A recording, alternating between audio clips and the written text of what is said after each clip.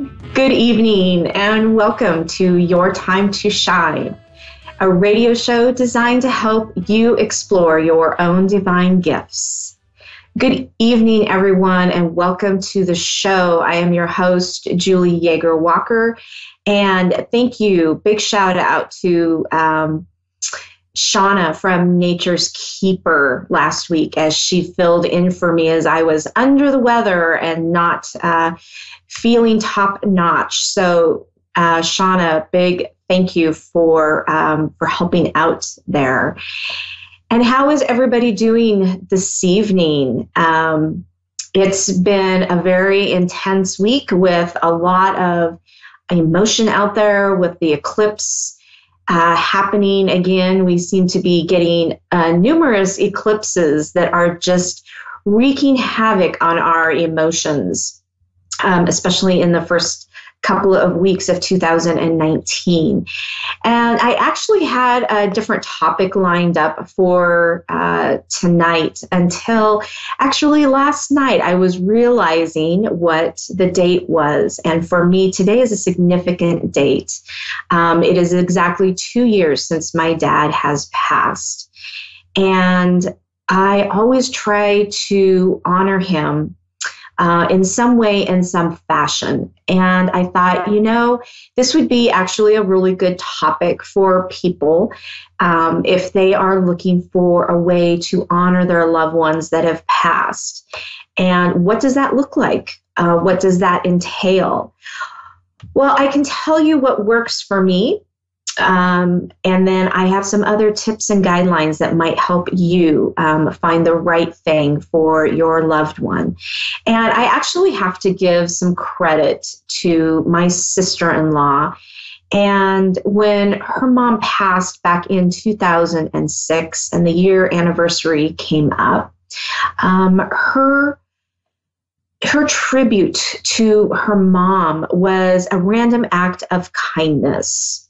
And what that looked like was she posted on Facebook um, a really nice picture of her mom and the date and said, I please um, use this as a random act of kindness in the name of, and she put my our mother-in-law's name in there. Um, and then what she suggested, she even, you know, she put it at, in there. You could print it and then you could hand it to somebody in whatever you felt the random act of kindness meant to you. So, for instance, you could buy coffee for the person in front of you or behind you, and then hand them um, this little tribute um, in honor of our mother in law. And I just thought it was so beautiful and so right on the money, especially for my dad. My dad was so kind and so generous, um, not only with his family, uh, but with um, with the community that he lived and worked in. Um, he did so much for so many people um, that after he passed, we had so many people come up to us and tell us how kind and generous he was and told us things that we didn't even know um, that my dad had done for this for this person, for their family, um, whatever. So as I was honoring my dad last night, I re- reached out on Facebook and just um, said, if you feel the urge to have a random act of kindness dedicated in um, my father's name, it could be a simple hug. Um, it could be a smile to someone as you're going down the street. Um, it could be anything. Um, it could be, you know, if you're in line at McDonald's, it may be paying for the family's meal that is behind you. Um, it could be anything, whatever it is that sings to your heart um, is, is what you should do. And so you know the the other tribute um, that I thought was so beautiful that my sister-in-law did is that my mother-in-law actually loved her black coffee, and so we would sit down for a number of years on the date of her passing, and we would all order a cup of black coffee. Now, for me, that was really hard. I am not really a coffee drinker, and definitely, if it doesn't have all of the stuff that's really bad for you, the sugar, the cream, and all that other stuff, um, it's it's hard for me to do. But I would, in the honor of our, our mother-in-law, uh, take a sip of black coffee and um, just say a simple prayer and offer of thanks to her in that.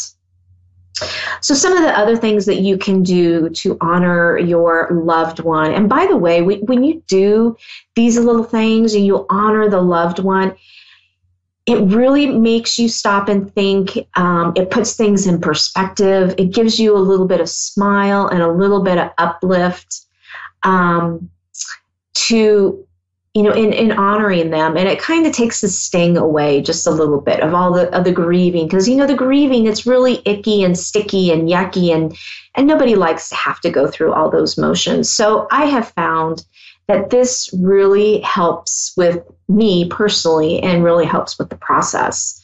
Uh, some of the other things that you can do to honor your family was, you know, pass down grandma's homemade bread recipe. Make make bread in the honor of your mom or your grandmother. Um, in my case my dad was a pickle maker which actually was handed down from his mom. And so the first year that he was gone my mom and my nephew made pickles in honor of my father. So doing something like that that you can pass down generation to generation and share that little piece of that person uh, can be really, really important. Um, you know, talking about their gestures, talking about um, their figures of speech or what made them laugh, sharing stories about that person um, with other loved ones. Um, you know, with your kids, with your grandkids, all of these things to help them remember that person um, in some way, shape, or form is is a really great way to honor that person as well. Um, you know, talking about generations, you can talk about you know some of the things that that person did growing up i know for me one of the stories that that stuck out in my mind of my dad um, growing up on a farm in minnesota um, his family didn't have running water probably until I think the early 70s. Um, so they did all their washing by hand. And I remember my aunts talking about how terrible wash day was. You'd wash the clothes, you'd hang them up and around the room, and you'd have the you'd have the stove going, and everything would be so humid and moist and just yucky. And but you couldn't hang them outside in the middle of winter um, and I remember the story how they hung some jeans outside and they literally were able to shake them once and they broke the jeans in half because they had uh, become solid ice. And I just find that fascinating, not living in that kind of a climate. We live in such a mild climate here um, in, or, in uh, Pacific Northwest of Oregon. And so something like that's really hard for me to wrap my head around. But it does make for really great stories um, about that person and being able to remember them and to honor them. And so as you're thinking about you know you're going through your grieving process definitely go through all of that. Um, but when it comes time and it feels right and you're ready to honor that person stop and think about what the most profound things were about that person. Um, and that will give you a better idea of what it is that you want to do in their honor um, to not only help you through your grieving process, but also to remind others what that person was about and what that person was like. So I hope that helps, and I hope you find a little bit of ease in all of that, um, in all of those suggestions.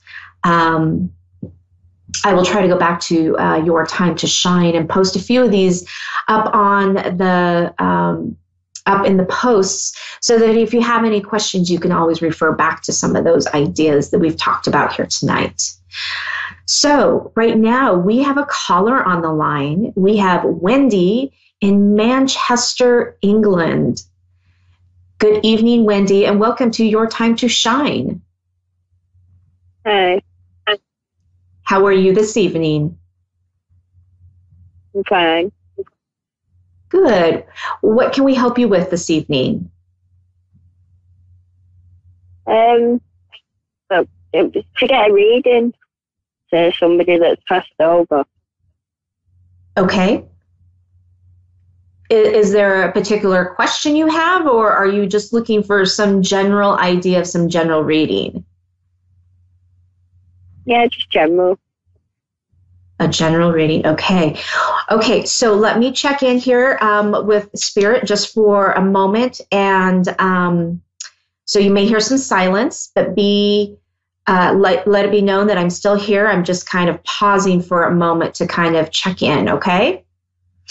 Right.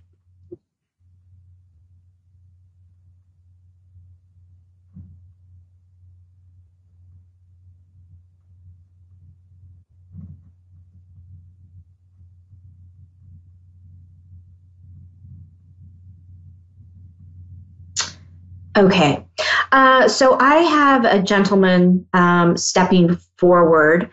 Um, he's showing me that he is an um, is an older gentleman, um, possibly a, maybe a father or an uncle. Um, he's he's showing me. Uh, it, he looks like he is, uh, you know, possibly in his fifties or sixties.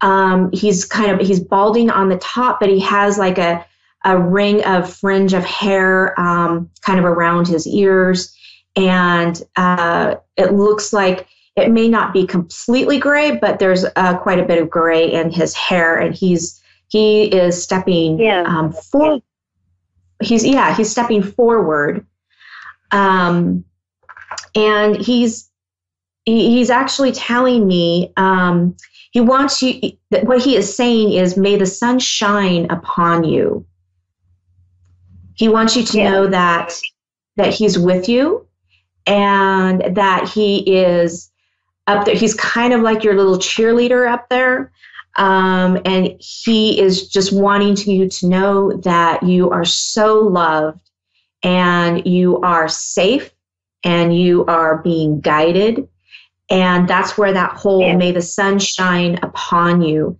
um, he's wanting you to know that he's always around um, and never doubt that and there's uh, pennies are, are coming up um, I, I, like i'm like i'm sucking on a penny uh, so Yeah. the the idea i'm sorry go ahead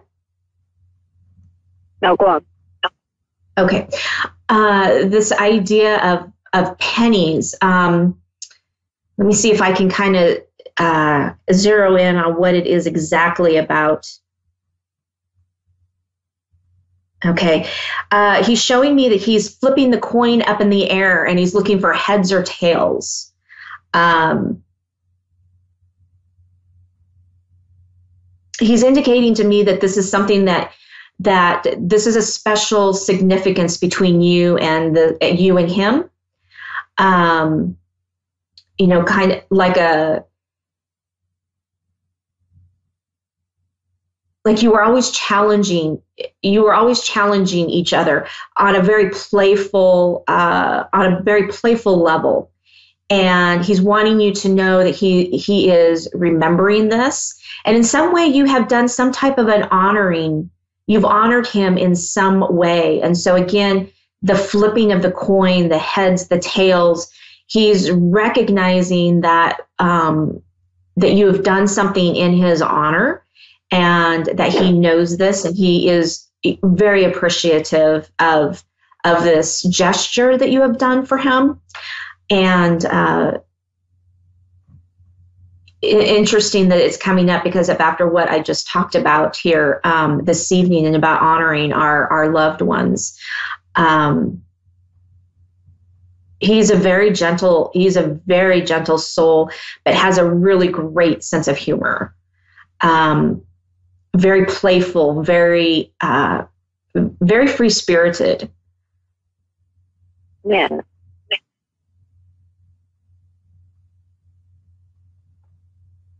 Uh, let me see if there's anything else here that he would like to share.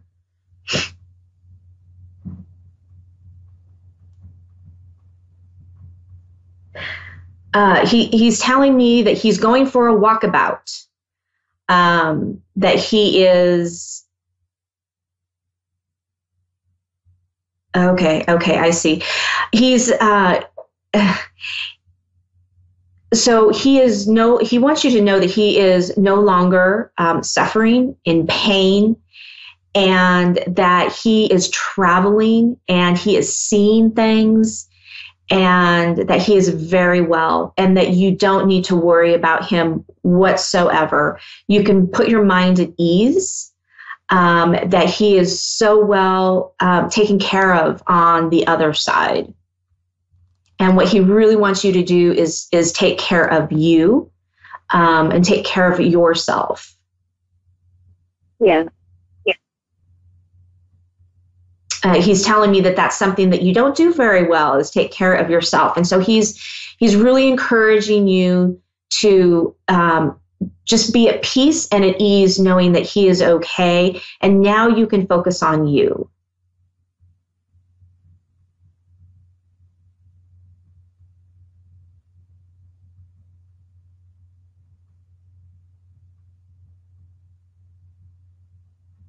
and he's kind of he's kind of stepping back a little bit. So i don't think he has anything more he wants to bring forward. Is there something is there something specific that you would like to ask or to know?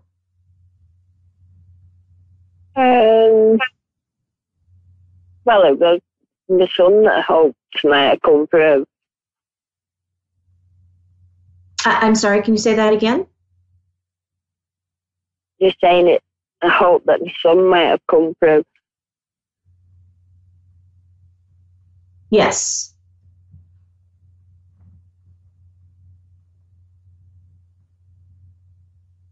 Um, he's saying he's saying um, you you don't need to worry. Um, that basically um, uh, basically that your um, all of your wishes and desires have been heard and are being taken care of. You just have to have the patience in order to re- you know have the patience to receive them. And that's the hardest thing for us to do here um, because our sense of time is so different than their sense of time. But he says yeah. he says be patient. Good things are coming your way Right. Okay. Okay.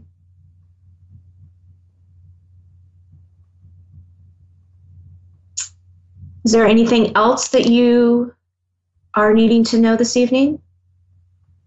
Um, I don't think so, no. Okay. Well, thank you so much for joining us tonight. Yeah, thanks for telling me. Okay. Have a great night. Thank you. Yeah. Uh, next, we have Misty in Cornwall, Ontario, Canada. Good evening, Misty. Hello. Welcome to Your Time to Shine. Hello. How are you? I'm good. How are you? Good, thank you. What can we do for you tonight? I was just wondering if you could tell me about um, my love life or what's in in store for the future in that area. Okay. All right.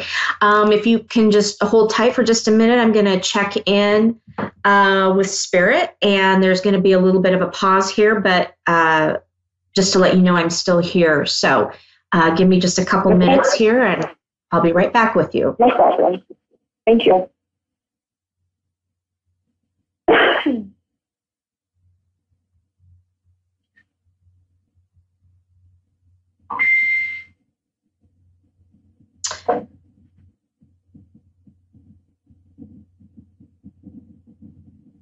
Uh, okay. So, Misty, are uh, I'm being told that you're in a relationship now. Is that correct?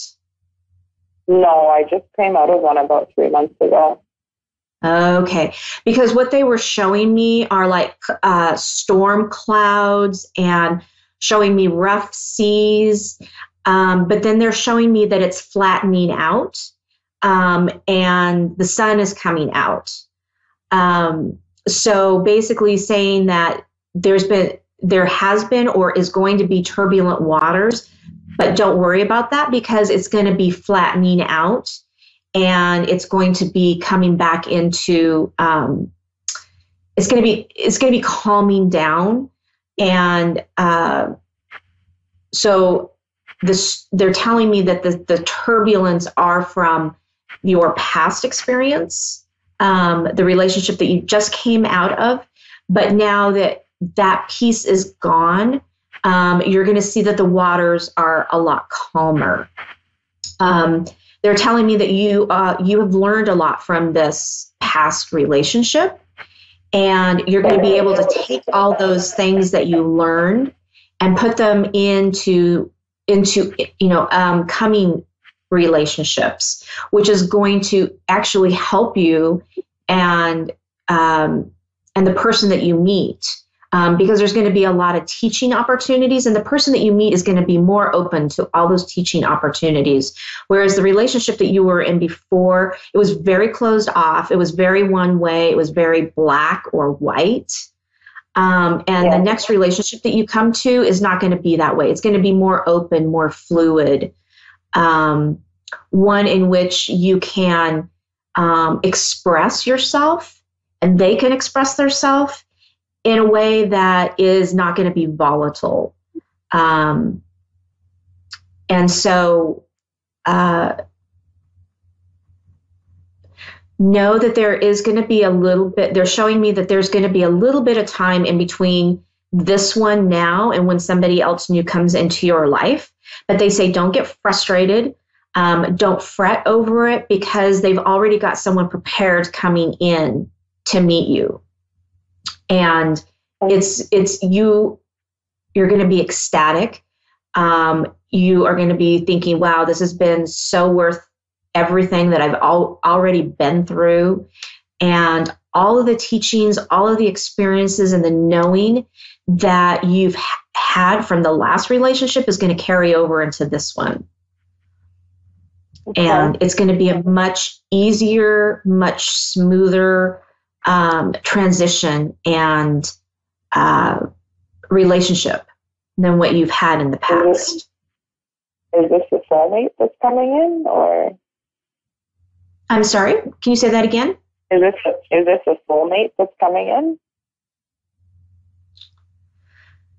Uh, hang on and let me check in.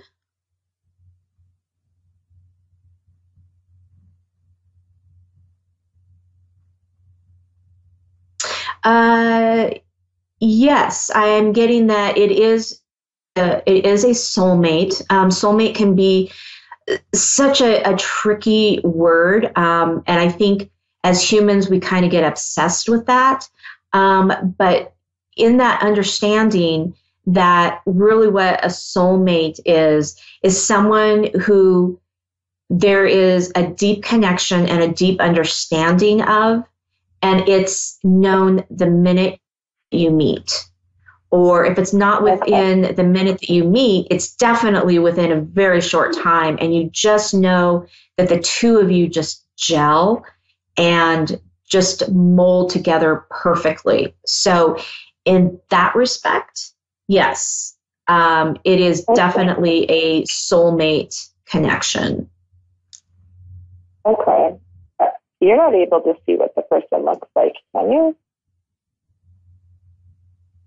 Uh, let me see what kind of information they can give me.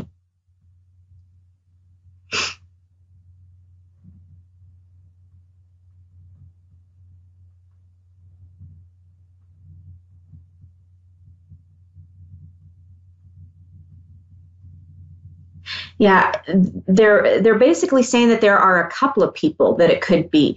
They're showing me like this blank chalkboard, like it's a blank slate and it's it's just starting it's starting fresh, starting over. Um, they're not giving me an indication of what that person looks like. I asked um, if because sometimes I can get uh, names um, or some kind of information. And at this time, they're saying, not right now. You'll just, you will know. Um,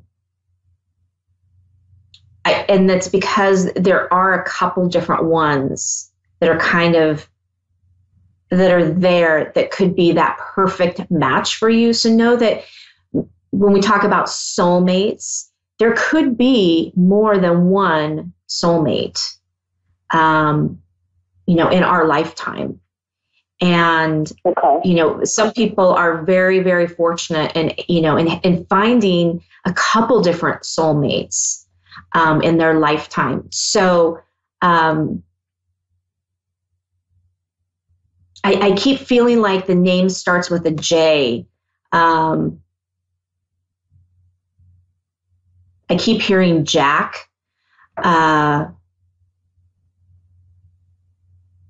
but here again, they just keep coming back to this blank slate, this blank slate. So I don't think they want you to get too caught up in this because you'll take it to heart and then you'll start looking for the people with the J's and the Jacks and the Johns and you know and they don't they're they're telling me you know don't do that. Don't take it you know that that literally that just let it come naturally. You're going to know. So okay and Misty we are coming down to the end of our show already so I want to thank you so much for being on tonight. Have a good night. Thank you. You too. So, an end to another week here on A1R Psychic Radio and Moonstruck TV. I am your host, Julie, on Your Time to Shine. If you would like to talk with me a little bit more, head over to my Facebook page at Your Time to Shine, or you can catch me on my website at wingsofsoulswithjulie.com. We will see you all again next week. Everyone have a great week.